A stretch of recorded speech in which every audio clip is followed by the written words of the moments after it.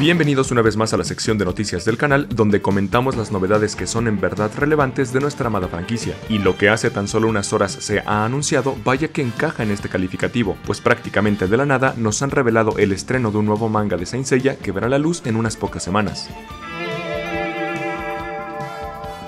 Gracias al usuario en Twitter Shifrock, quien publicó una imagen de la portada de la Champion Red número 10 que salió a la venta el día de hoy en Japón, nos enteramos de que un nuevo spin-off de Saint Seiya se ha preparado y su lanzamiento será el próximo mes de septiembre dentro de la propia Champion Red, pero en su edición número 11, sin saber por ahora si se trata de una serie larga, algunos pocos capítulos o incluso una especie de one shot.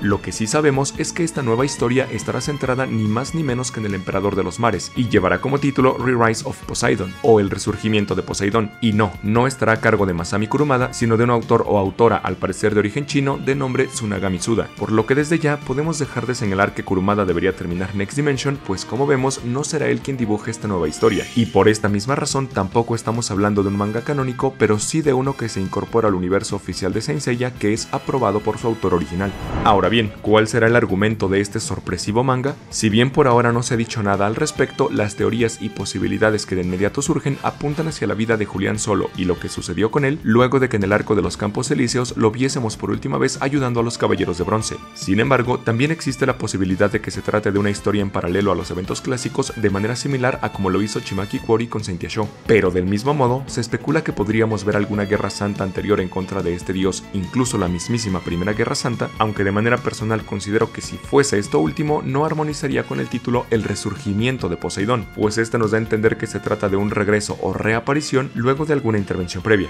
Como ven, la noticia es realmente nueva y por ahora, al momento de estar realizando este video, es todo lo que se sabe al respecto. Por cierto, para finalizar esta edición de Star Hill News y como pequeño dato adicional, también en la Champion Red que salió a la venta hoy se anunció que los próximos capítulos del manga Sentia Show Memories dejarán de publicarse de manera física en esta revista y pasarán ahora al formato digital dentro del sitio web Manga Cross. Pero dime, ¿qué te parece esta noticia? ¿De qué crees que trate este nuevo manga? ¿Será que veremos por fin al verdadero dragón marino? Leo tus respuestas en la caja de comentarios.